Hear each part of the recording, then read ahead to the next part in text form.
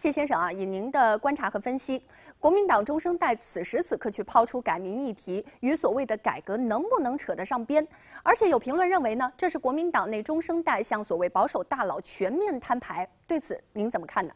所谓的改名哈，跟改革哈是一点关系都没有啊。那至于是不是说这个所谓的年轻的中生代哈，在跟所谓的大佬叫板的一个问题，我个人认为这是一个路线之争哦。也就是说呢。这个你这个中生代他们看到的呢是选票，但是呢国民党自己本身也要考虑到一个问题啊，万一呢你真的做了一些改名或者是一些哈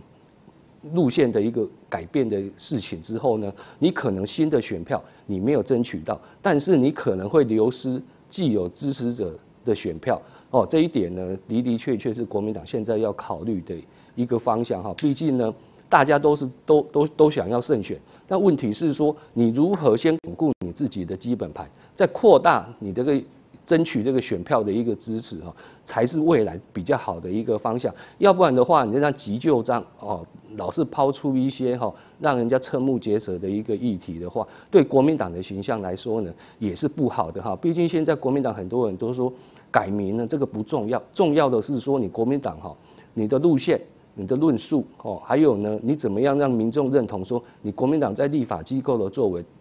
对民众是有利的呢？至于改不改名这个问题，很多人也也就认为说这是一个假议题。为什么呢？因为这个议题已经提出来很多年了哈，只是最近呢又被炒出来哈。因为之前的人也认为说这个改名呢的的确确是不需要，毕竟你中国国民党有自己的一个历史。你这个改名字呢？那你是要切断你过去的一个历史渊源吗？哦，还是说呢，你你就是为了选票考量，你就不择手段哈，就想要达到只只要选票，不要历史渊源哦，这样对中国国民党来讲哈，他的形象也是很一个一大伤害。